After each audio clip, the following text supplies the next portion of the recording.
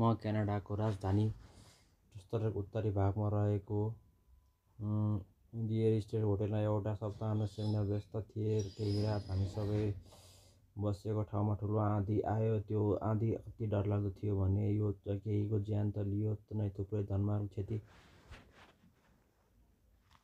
पनि गरायो। आइतबार म सबैभन्दा क्षति पुगेको क्षेत्र हुँदै घर फर्किरहेको थिएँ। मैले त्यो विनाशको क्षण देखेर चित्त दुखाउँदै गाडी रोकेर गाडीबाट ओर्लिएर केही क्षणमा दुई चार पाइला सारेँ। मेरो अघिल्लोतिर पल्टेको कार क्षत विक्षिप्त कार र मन दुखाउने दृश्य जताततै थियो। त्यसैबेला मेरै छेउमा अर्को एउटा कार रोकियो र त्यो व्यक्तिहरू पनि त्यहाँ भएको विनाश हेरिरहेका थिए। ती व्यक्ति थिए बब टेम्पलटन।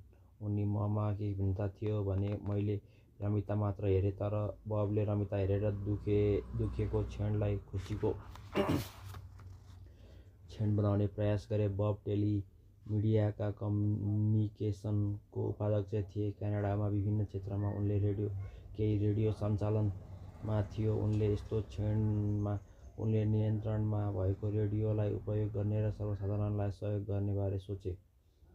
मैले जुन कार्यक्रममा सानो प्रवचन दिनु थियो त्यही ठाउँमा आएर बब र उनले टेलिमिडिया कम्युनिकेसनका केही सदस्यले आँधी पीडित व्यक्तिहरूका लागि सानो कार्यक्रम गर्ने आफ्नो सोच रहेको बताए। तर यसका लागि उनी बाटो खोजिरहेका थिए। यसका केही मैले उनीहरूलाई सहयोगका लागि केही भन्न त सक्दिनँ तर उनीहरूको उच्च विचारलाई उच्च सम्मान व्यक्त गरिरहे।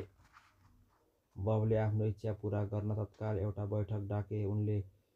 उनको कार्यालयमा टेलिमिडियाका सबै कार्यकारी अधिकृतहरूको भेला सुरु भयो।